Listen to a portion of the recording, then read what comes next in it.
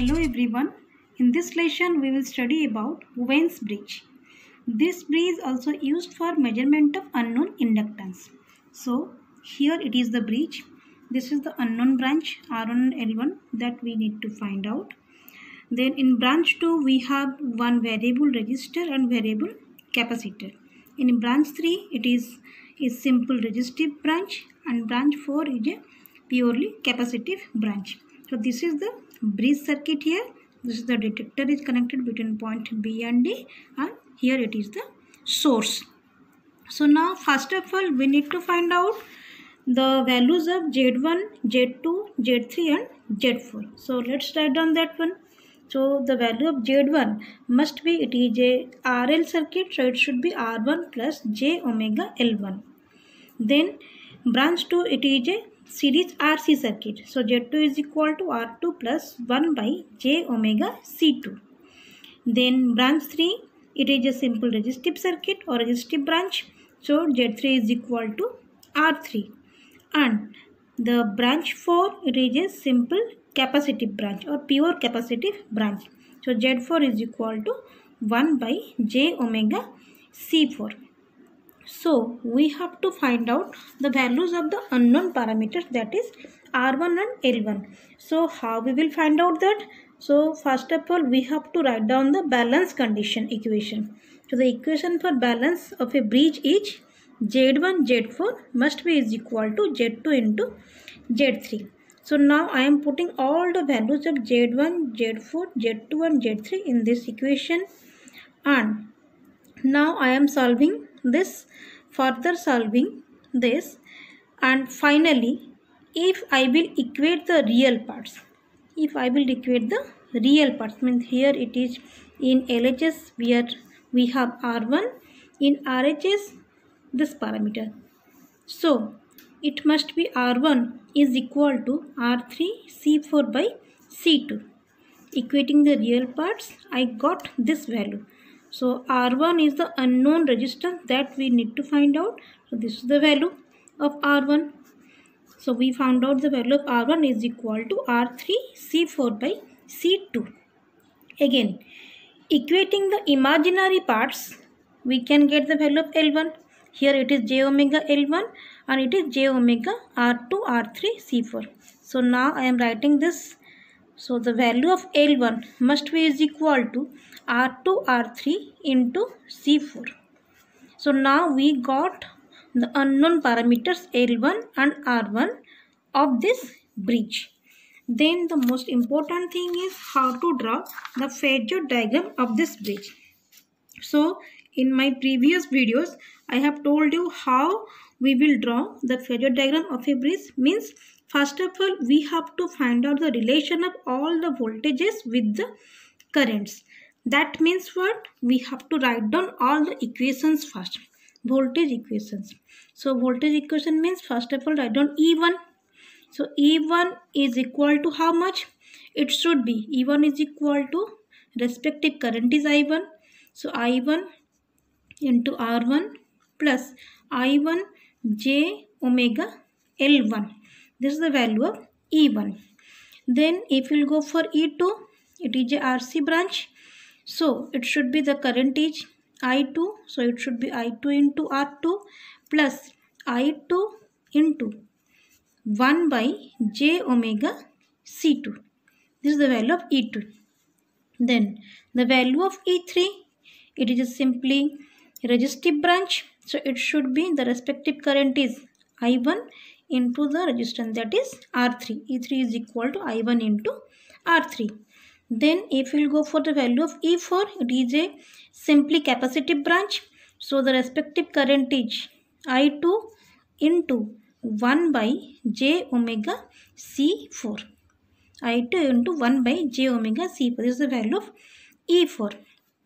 Again at balance condition, E1 is equal to E2 and E3 is equal to E4 and the total circuit voltage E must be the phasor sum of either E1 and E3 or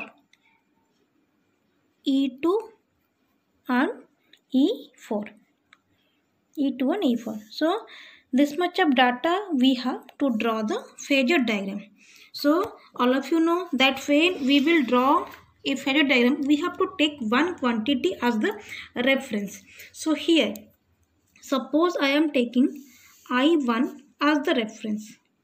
I1 as the reference. So if I1 as the reference the resistive voltage drop I1 into R1 it must be in phase with the respective current and the inductive voltage drop inductive voltage drop I1 j omega L1 should be leading 90 degree to the respective current I1 and now we got the value of E1 means it is the phasor sum of I1 R1 and I1 j omega L1.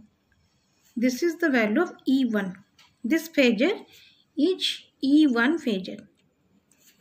Again at balance condition we know that E1 is equal to E2. That's why this same phasor is equal to E2. Then E3 is equal to I1 into R3. E3 is equal to I1 into R3. So that means what? The phasor relation of E3 with I1. This is in the same phase. It is a resistive branch. So if I have drawn I1 here, I can draw E3 here in phase with I1. This phasor is equal to E3 and at balance condition E3 is equal to E4 the same phasor is equal to E4. Again, E4 is equal to I2 into 1 by j omega C4. E4 is equal to I2 into 1 by j omega C4. So that means E4 is a purely capacitive branch. So the respective current will lead by an angle 90 degree to the voltage. So obviously if this phasor is E4 then I can tell that or I can draw I2 here. It should be 90 degree leading to E4 it is E4 and it is I2 it should be 90 degree leading. Again the value of E2 is equal to I2 R2 plus I2 into 1 by j omega C2 so the I2 R2 phasor must be in phase with the respective current I2. So I can tell if it is I2 in this same phase I can write down this same phasor is equal to I2 into R2 and I2 into 1 by j omega C2 it is a capacitive voltage. So if it is a capacitive voltage it will lag the respective current by an angle 90 degree. So if this is I2, I2 is the current here. So if this is I2, I2 into j omega C2 will lag by an angle 90 degree.